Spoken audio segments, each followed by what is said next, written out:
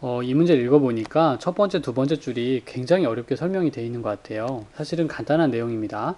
A는 정수이고 B는 소수이다. 이렇게요. 자, 근데 1보다 작은 음이 아닌, 그래도 음이 아니라는 건 0보다 크다는 얘기고요. 1보다는 작은, 1보다 작고 0보다 큰 소수가 B다. B가 0과 1 사이에 있다를 이렇게 말했습니다. 참 어렵게 말했죠? 하지만 우린 이것도 알아들을 수 있어야 해요. 음. 그러니까 b가 0과 1 사이에 있는 거고 0과 1 사이에 있는 것을 우리가 소수라고 불러요. 그리고 a는 정수다 이렇게 얘기를 한 거죠. 어, 소수에 대한 오해가 좀 많이 있는데 먼저 그거부터 해결하고 바로 풀이 넘어가겠습니다. 소수라는 것은 0과 1 사이의 수로서요. 그러니까 0.5, 0.3, 0.2, 0.1, 004 뭐 이런 것처럼 이와 같은 숫자들을 소수라고 부릅니다. 우리가 보통 1.05, 뭐 23.7 이런 거 점이 있으면 다 소수다 이렇게 생각하는 경향이 있거든요. 그것은 좀 잘못된 표현입니다. 점이 있으면 소수다? 그렇지 않습니다. 소수는 0과 1 사이에 있는 수가 소수입니다. 그래서 그동안 이걸 소수라고 불러왔다면 이제는 네, 앞으로는 이거를 소수로 부르지 않기로 합니다. 그럼 이게 소수가 아니면 이건 뭐냐? 어, 1 플러스 0.05이고요.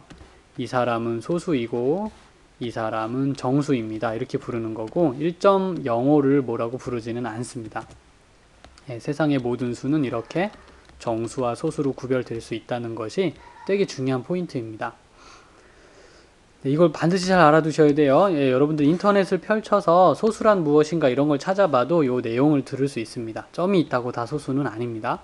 초등학교 책에는 점이 있으면 소수다라는 말이 있는 대목이 실제로 있습니다. 쌤이 찾아봤는데 근데 그 단원에서는 절대로 1.3이나 2.7 같은 걸 다루지 않았어요. 그 단원에서는 다 이런 것만 다뤘습니다. 이렇게 될 때는 점이 있으면 소수다가 맞는 얘기겠죠? 예, 근데 그게 자꾸 이렇게 된 것도 소수다라는 건 절대 아니었습니다. 0과 1 사이에 있어야 합니다. 자, 그럼 가죠. 그래서 루트 3의 정수 부분은 1이다. 뭐, 당연한 얘기죠. 우리 중학교 3학년 때 무리수 배우면서 이 얘기가 나오죠. 그러면 루트 3의 정수 부분이 1이니까 1 플러스 알파로 생각할 거냐 아니면 1과 2 사이에 있는 수로 생각할 거냐 이것은 두 가지 표현 모두 다 맞아요. 근데 어떤 표현이 오늘 주어진 문제를 해결하는 데 도움이 되는지는 그건 써봐야 알 수 있습니다.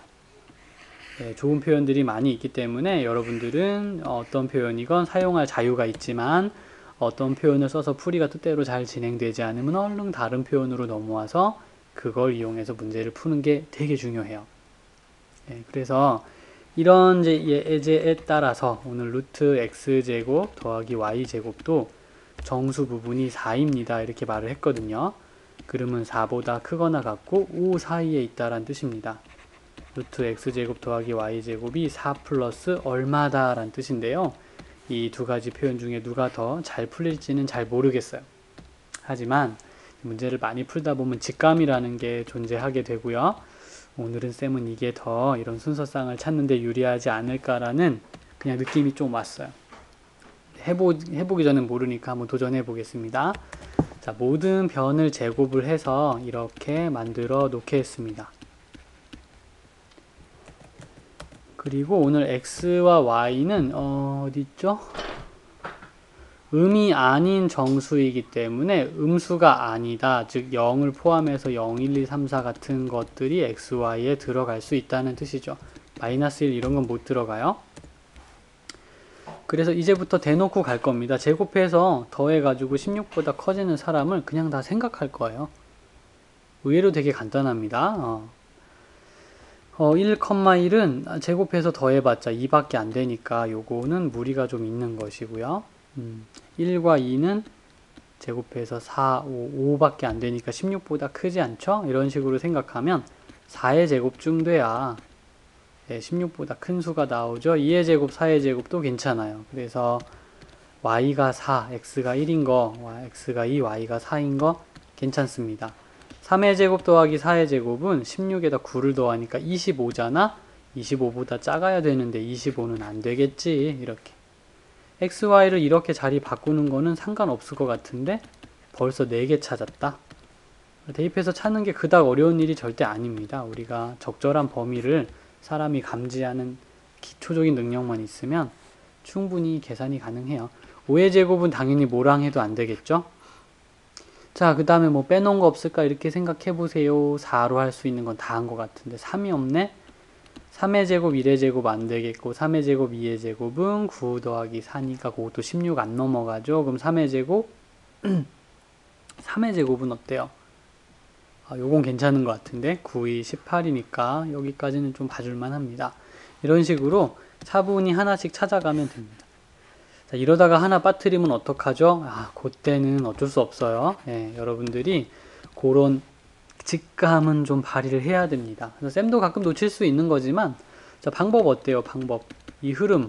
음, 괜찮죠? 그죠? 그래서 쭉 유지해서 완벽하게 찾을 때까지 쭉 돌리면 됩니다. 그래서 5는 절대 안 될 것 같으니까 이건 당연히 패스 이렇게 쌤 생각에는 한 다섯 개 정도가 나올 것 같고요. 혹시 놓친 게 있으면 찾아서 바로 하나 더 연결해 주면 되니까 뭐 고장난 풀이를 나중에 고치는 것도 그닥 어렵지 않게 잘 설계가 되어 있습니다. 음. 근데 만약에 첫 번째 표현을 좀 선택한다면 x제곱 y제곱을 더한 게 16 더하기 8 알파 더하기 알파의 제곱으로 요걸 제곱해서 밑에처럼 쓸 수 있는데요. 아 어떻게 생각해야 될지 조금 복잡한 면이 많아서 포기 하게 되는 일이 많습니다. 포기하지 않더라도 아무튼 고생을 많이 해요. 그러니까 좋은 표현을 찾는 감각은 여기서는 좀 필요한데요. 그 좋은 표현을 찾는 감각은 실수해보거나 막혀보지 않으면 잘 좋아지지 않습니다. 그래서 이런 경우에는 어 가끔 표현을 좀 이렇게 돌아보는 것도 공부에 큰 도움이 될 수 있습니다. 괜찮았습니까? 혹시 나중에 원의 방정식을 배우게 되시면 이것을 이제 부등식의 영역으로 풀 수는 있어요. 근데 아직 그 수업을 좀 했는지는 모르겠어서 여기다 적진 않았지만 네, 만약에 이 수업을 했으니까 이 방식도 한번 보고 싶다고 하면 원의 방정식 수업을 일단 들어야 되니까 부등식 영역이랑 이걸 들었다면 그때는 쌤이 요거 얘기해 줄 수 있어요. 그래서 어, 그럴 경우에는 선생님한테 꼭 다시 연락을 좀 줬으면 좋겠습니다.